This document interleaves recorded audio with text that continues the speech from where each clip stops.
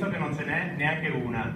È un incontro promosso in particolar modo dalla Confederazione Italiana Agricoltori e da Confagricoltura, ma noi abbiamo anche gradito invitare altre